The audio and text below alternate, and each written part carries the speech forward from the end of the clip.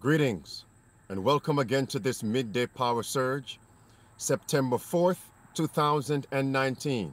Friends, we made it. We made it. We made it.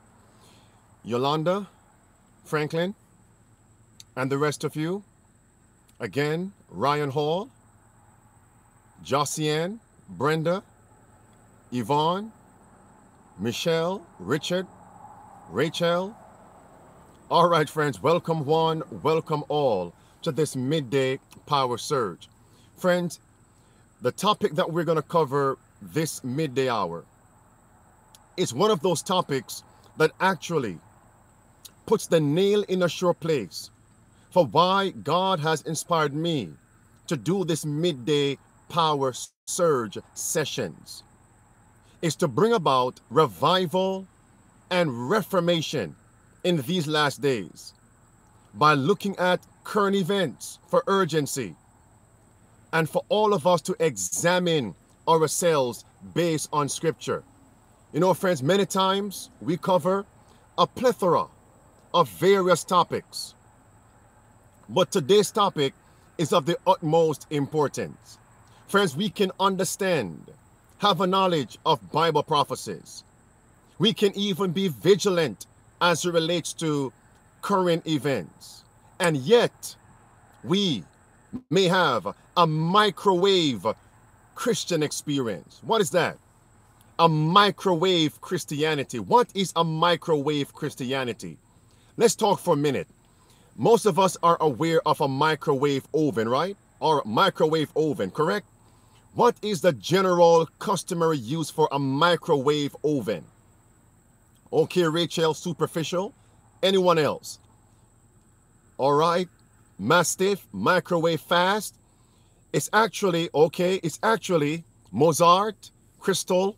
It's actually putting food in that microwave oven, turning it on, and actually reheating, heating, cooking food rather quickly. But what happens to the nutrients in the food as a result? What happened? And the sad reality is many of us are having a microwave Christianity. Now, some of you are right now on your job. It's midday power surge. I want to give you a quick nugget. So if you have to leave, you may do so. And for the rest of us, we can remain until we're through for this midday power surge. I'm going to quote now from Education, page 260, one of my favorite scriptures. It says, An intensity such as never before was seen is taking possession of the world in amusement, in money making, in the contest for power, in the very struggle for existence. There is a terrible force that engrosses body and mind and soul. In the midst of this maddening, maddening, in the midst of this maddening rush, God is speaking. He bids us come apart and commune with Him. Be still and know that I am God. Psalm 46, verse 10. Are you having a microwave? Christianity goes on to say, many, even in the seasons of devotion, fail of receiving the blessing of real communion with God. They are in too great haste. They are what, my friends? They are in too great haste. Microwave Christianity with horrid steps, they press through the circle of Christ's loving presence, pausing perhaps a moment within the sacred precincts, but not waiting for counsel. They have no time to remain with the divine teacher. With their burdens, they return to their work. These workers can never attain the highest success until they learn the secret of strength. They must give themselves time to think, time to pray, time to wait upon God for a renewal of physical, mental, and spiritual power. They need the uplifting influence of God's Spirit. Receiving this, they will be quickened by fresh life. The wearied frame and tired brain will be refreshed the burdened heart will be lightened. midday power surge. It goes on. Not a pause for a moment in God's presence, but personal contact with Christ to sit down in companionship with Him. This is our need. Happy will it be for the children of our homes and the students of our schools when parents and teachers shall learn in their own lives the precious experience pictured in these words of Song of Solomon, chapter 2, verse 3, verse 4. I sat under his shadow with great delight, and his fruit was sweet to my taste. He brought me to the banqueting house, and his banner over me was love. Do you know what song just came to my mind? I come to the garden alone, while the dew is still on the roses, and the voice I hear falling on my ear, the sound of God discloses. He walks with me, He talks with me, and He tells me I am His own, and the joy we share as we tarry there. As I tarry there, no none other can never know. That's it, my friends. We don't want a microwave experience, a microwave Christianity. So for those of you who are on the job, for this midday power surge, that was your nugget. Five minutes, that was your nugget. Now for the rest of us. Friends, safe to serve and the rest of you. Let's come together and reason for a moment. As I go through this presentation, prayerfully, consider the topics, the themes, the subjects, and under God inspiration, respond. Respond. All right, respond. Quickly type in your responses at the appropriate times. Don't go overboard. Let's be temperate in all things. For one purpose for Midday Power Surge is for it to be interactive. All right, my friends, with that in mind, Midday Power Surge, micro wave Christianity, lo and behold, I found this startling article which came out August 30th, 2019 from Shane Idleman. This is from ChristianHeadlines.com. I'm going to post these statements below. Please, friends, go and read the statements, the scriptures, the comments. It's under, under the pinned comment, Prophesy Again TV. All right, it says America's microwave Christianity. The heart of the present day church must change. Before I continue and read this article, remember, friends, this is the condition of the churches. And before Christ comes, what must happen to Babylon? Type, talk to me, friends. What must happen to Babylon based on the second angel's message? Of Revelation chapter 14, verse 8, Revelation chapter 18, the whole chapter. Okay, Calbert, Eugenie, Fabian, Laura, Babylon must fall. Has Babylon been falling since 1844? Yes, apostate Protestants, primarily, along with the papacy, popery, Roman Catholicism, and they are falling lower and lower. Now, friends, I'm going to post a statement, great controversy, below this presentation. Again, go below the pinned comment, Prophesy Again TV. Please, friends, read it. All right, friends, let's go on. It says, America's microwave Christianity. The heart of the present day church must change, he says. As we all know, America is in a spiritual decline with no recovery in sight.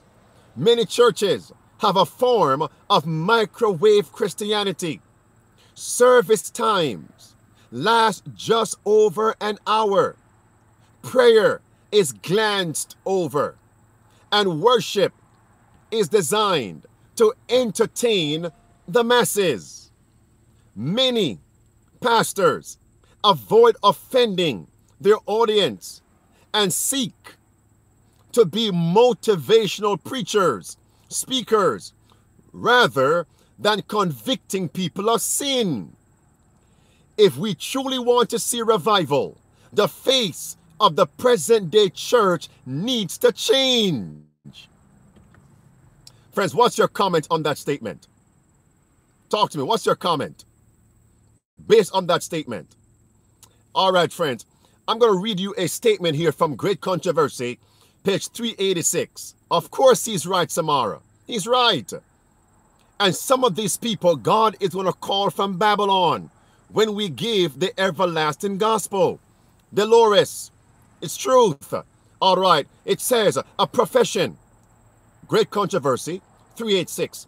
A profession of religion has become popular with the world. It goes on. The various religious bodies reinforced by the wealth and influence of these baptized worldlings make a still higher bid for popularity and patronage. Splendid churches, embellished in the most extravagant manner, are erected on popular avenues. The worshippers array themselves in costly and fashionable attire. A high salary is paid for a talented minister to entertain and attract the people. His sermons must not touch popular sins, but be made smooth and pleasing for fashionable heirs. Thus, fashionable sinners are enrolled on the church records, and fashionable sins are concealed under a pretense of godliness. All right, friends. So, what are your comments based on that statement from Great Controversy? Does this show that within even our churches, within this denomination, SDA, that many other churches and people are having a microwave Christianity? Of course, Matthew, it's sad. Alma, it's truth. All right, friends, hear what this says. Let's go on with the same article.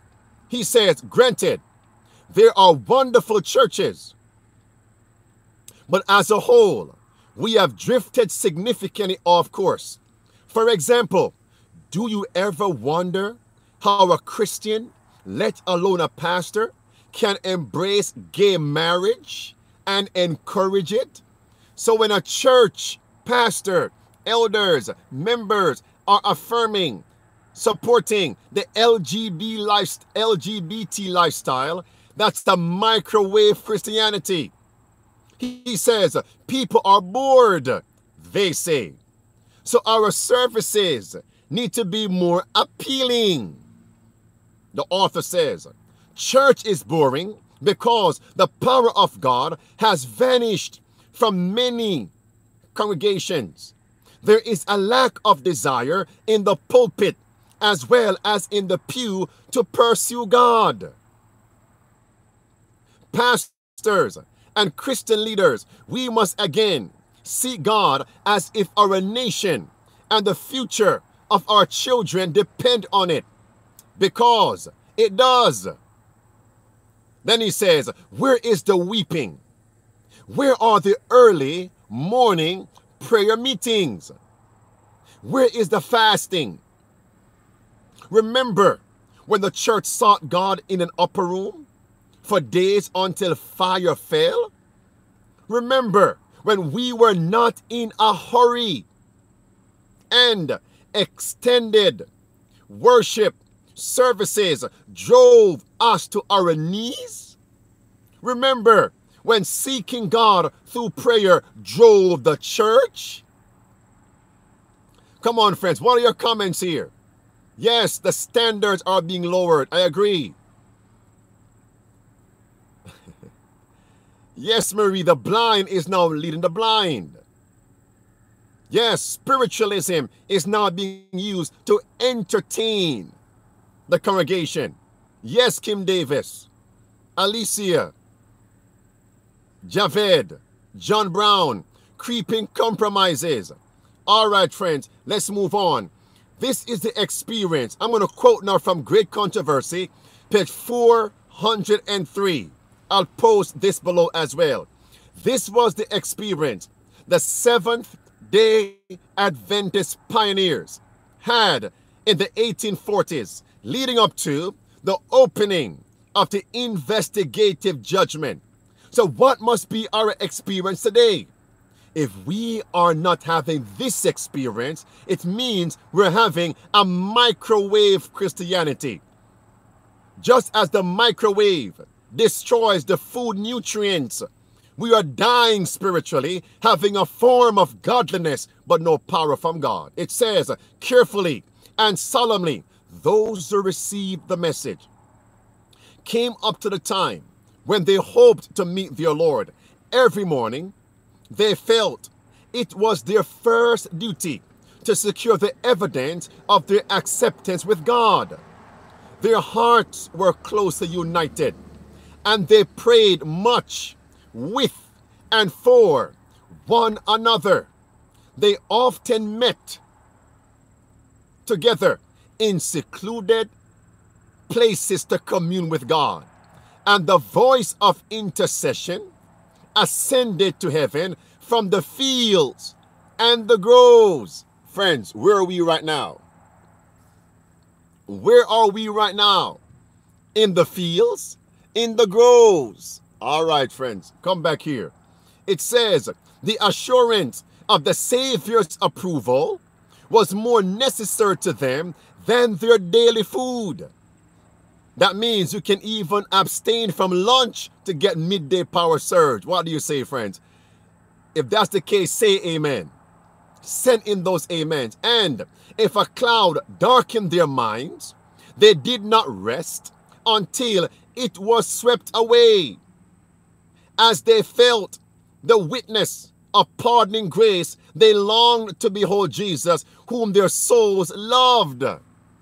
And that's why midday power surge is also for seasons of prayer, friends. Prayer. It's time, my friends, to experience this beauty of Christ. All right, friends, this microwave Christianity is also found inside the feel good churches. What did I say, my friends?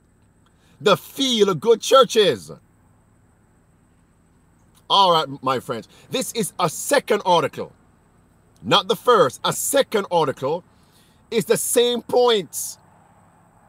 Listen what this says. This is Ravi Zacharias, August 29th, 2019. It says, many mainstream churches lost the real gospel.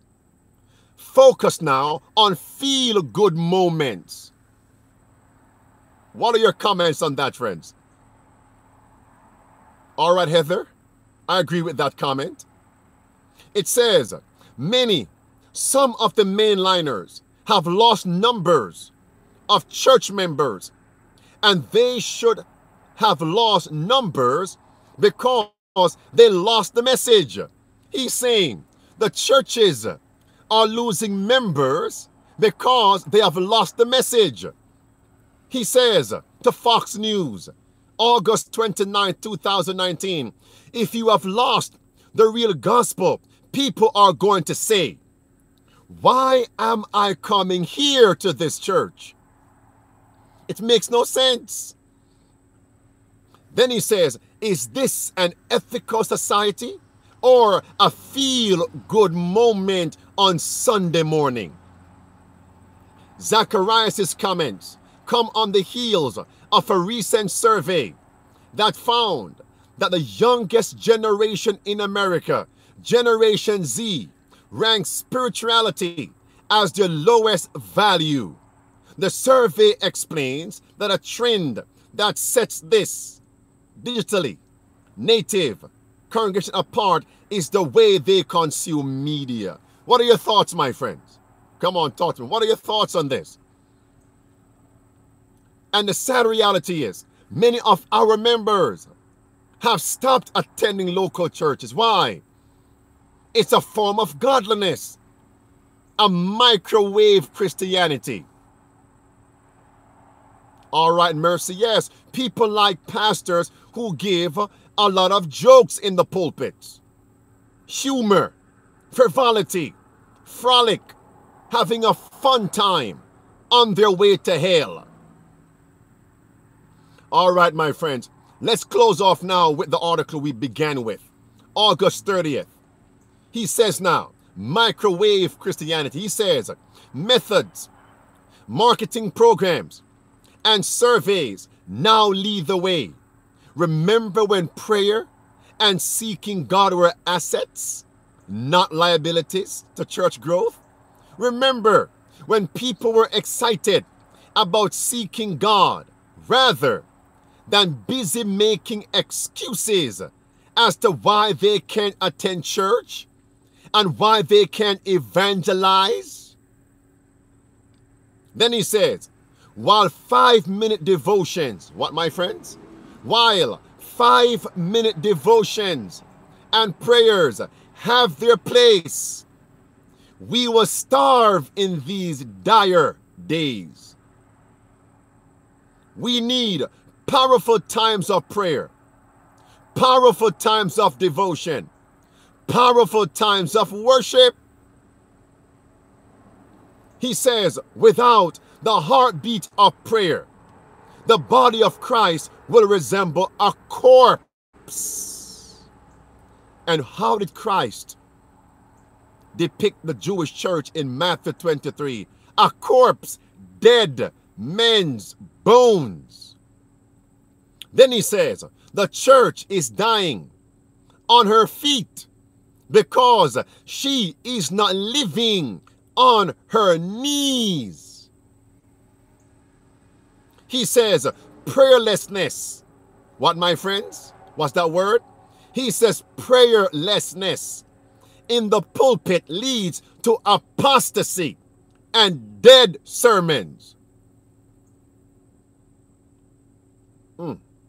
Prayerlessness in the pew leads to shattered lives and depression. He says in closing, prayerlessness in men leads to the breakdown of the family. So what's the theme on the last point right here, my friends? What's the last theme right here? The last point. Prayerlessness. If someone were to ask you safe to serve right now, if you met someone on the job, at school, your neighbor, in the marketplace, and they asked you, what is prayer? How do I pray? What is communion? How would you respond? I'm waiting. Let me start you off. How would you respond? My friends, volume 4, page 533 says, Prayer is the opening up of the heart to God as to a friend. Talk to God as to a friend. What is prayer, friends? All right, transformation. Talk to Christ as a friend.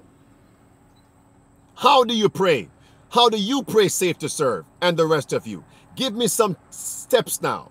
What are your process in prayer? How do you have devotion? How do you commune with God? Talk to me, friends. How?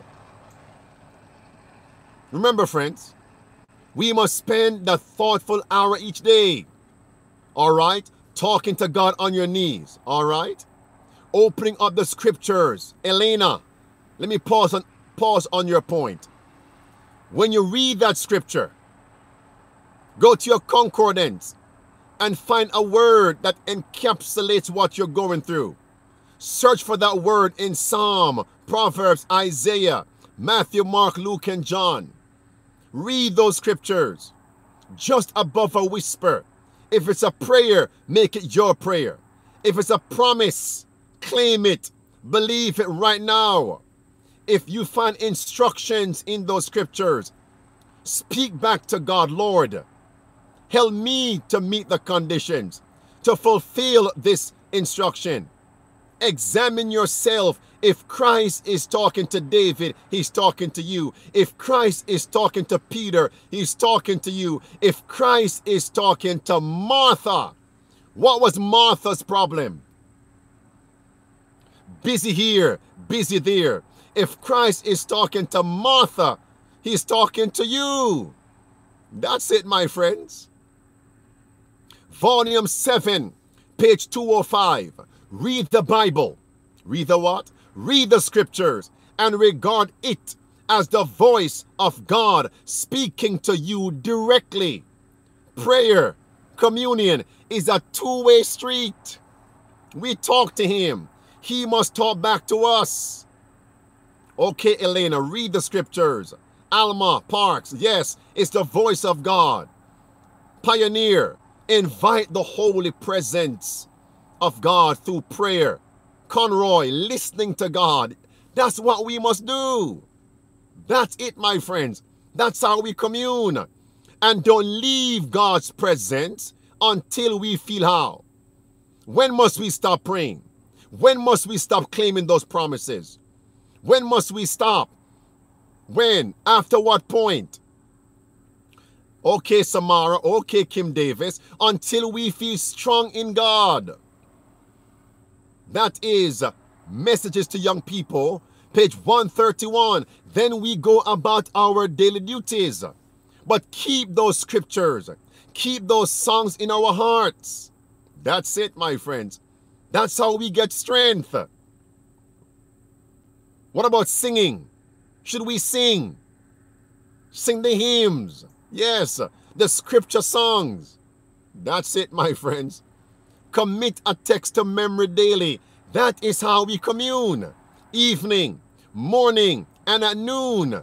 Oh, my friends. And as we experience this, we won't have a microwave experience. Notice, friends, it can be one minute, it can be five minutes. It's the substance of it. Don't run in and run out of God's presence and you're still burdened down. That's a microwave experience. As a microwave destroys the nutrients, you're still burdened. It can be a minute, five minutes, one hour. It's the substance. All right, my friends, send in your prayer request. I'll give you, by God's grace, a part two on tomorrow's midday power surge. Send in those prayer requests as I play the song, I Come to the Garden Alone. Listen.